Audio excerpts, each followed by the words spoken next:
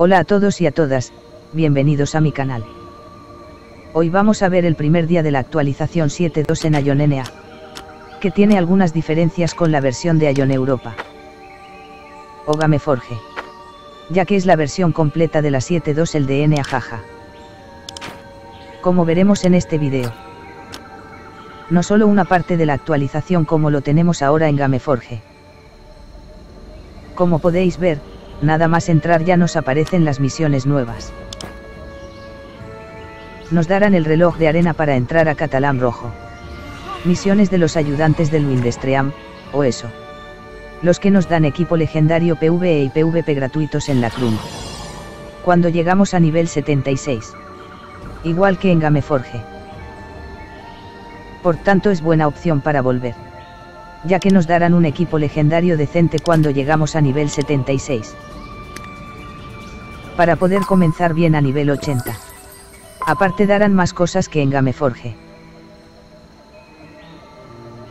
Y tenemos también varios eventos. En uno de los cuales nos darán el mejor equipo PvE del juego. Ya subido a más 10 pero para 30 días. Como vamos a ver más adelante. Bien lo primero iremos a la Crum. Para tomar el equipo legendario que nos regalan los del evento de Windstream. Aquí están.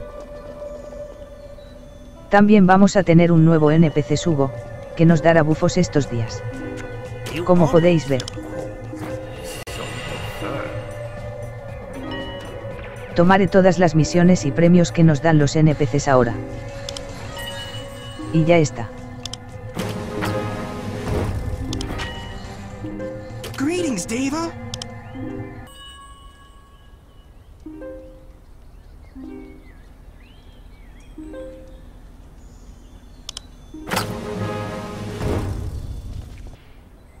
Voy a tirar algunas cosas del inventario que no tengo sitio para nada jaja. Y abriré los cofres del evento que nos han dado para ponerme el equipo nuevo legendario. Algunos jugadores como veis ya tienen minion dorados. Yo aún tengo uno de rango B en Ayonene jaja. Tendré que entrar más para sacar un rango A. Ya vacié un poco el inventario. Ahora me haré los sets nuevos PvE y PvP, con los equipos que me acaban de dar del evento.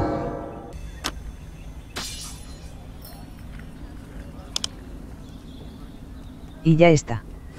Decir también que en Ayonene a los NPCs del Windstream nos darán dos cajas con accesorios legendarios a elegir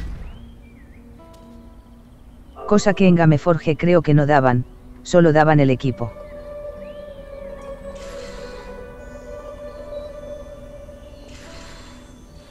Luego si venimos aquí.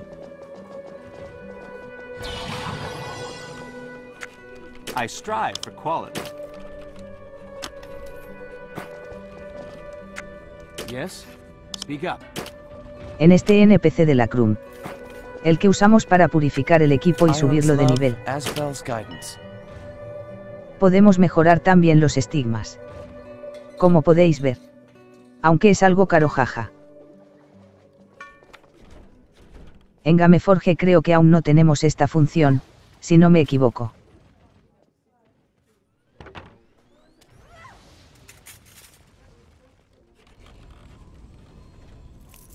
Ahora iremos a Dumaja para entrar a Red Catalam y ver algunas novedades y más eventos.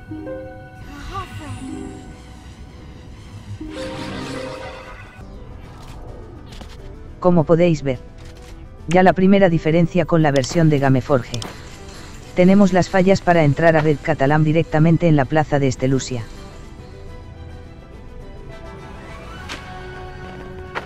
Al lado del broker, o agente comercial por tanto no tenemos que andar buscando las fallas por todo el mapa jaja. También tenemos más instancias repartidas por el mapa.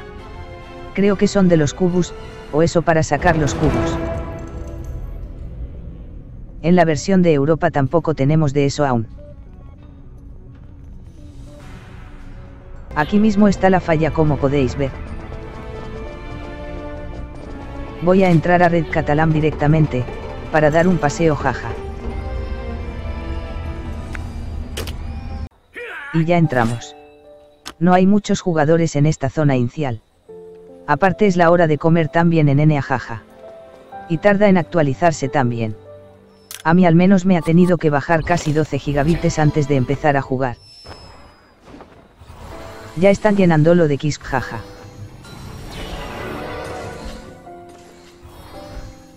Aquí tenemos la falla para cuando queramos salir. Otra cosa también, decir que si morimos en este mapa salimos fuera. A no ser que nos reviva alguien, o tengamos piedras, o un kisk en catalán para revivir en él. Si leéis las notas del parche que están en la página de Ayonenea, pone que también podemos acceder a Red Danaria. Es decir, Cantalon Sur que sería en Europa si no me equivoco. Yo no jugué mucho en esa actualización jaja ya que es justo cuando empecé con Ayon. Cuando quitaron esos mapas. Lo de Red Danaria no sé si es una equivocación. Ya que yo sepa eso se introduce en la actualización 7.5 no en la 7.2. Aparte que también pone que han puesto el asedio de Prades. Para 96 jugadores en Red Danaria que si no recuerdo mal eso se introduce en la 7.5 jaja. Pero tendré que mirarlo mejor.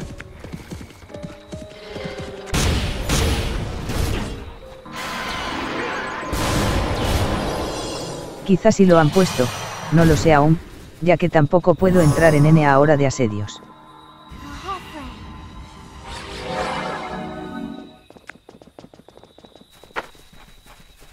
Daré una vuelta por aquí antes de irme.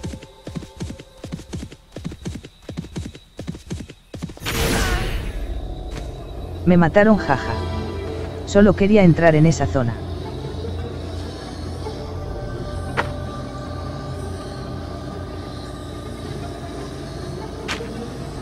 En Red Catalán, o Crimson Catalán como se llama en NA. Creo que salen más bichos también tipo de raid. Que en Gameforge yo no he visto.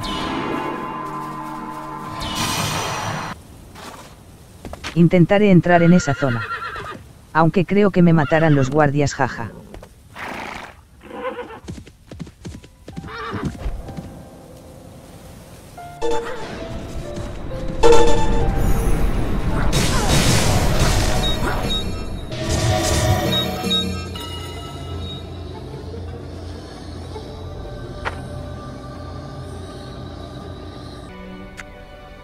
Ahora iremos de nuevo a Dumaja.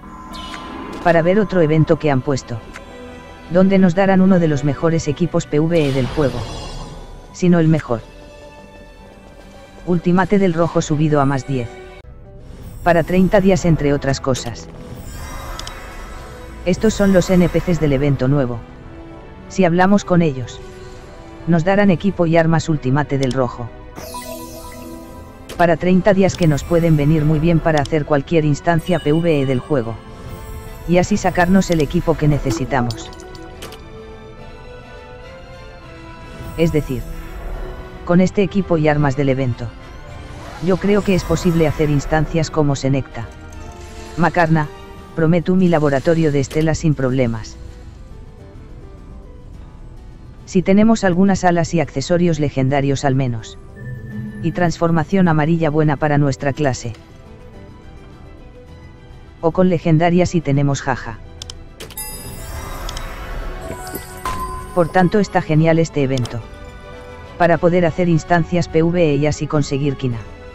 Conseguir equipo PvE, o lo que necesitemos. Las cajas que nos dan duran 7 días. Por tanto tenemos que abrirlos antes de 7 días para que no desaparezcan. Pero las armaduras y armas luego nos duran 30 días. O un mes, tiempo más que suficiente para hacer instancias si disponemos de tiempo para jugar. Luego los otros NPCs que tenemos al lado también nos pueden dar algunas misiones. O más cosas aún.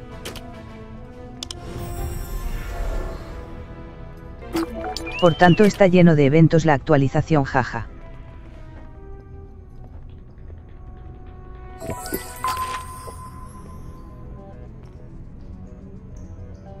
En mi opinión está mejor que la versión de Gameforge la versión de NA.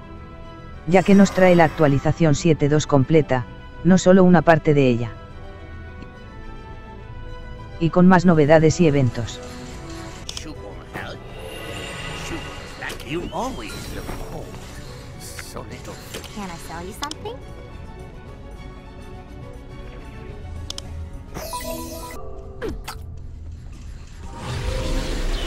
El evento de las flores, o de la pora no sé aún muy bien cómo va jaja. Para terminar como podéis saber, otra de las novedades de la 7.2 es la arena de duelo. Que se encuentra debajo de la plaza de Estelusia. Aparte de nuevas instancias como la mansión de Beriruner, o como se llame Jaja. Y Crimson Catalam y demás cosas que antes hemos visto.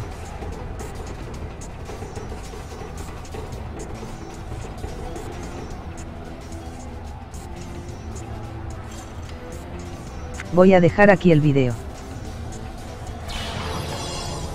Espero que os haya gustado.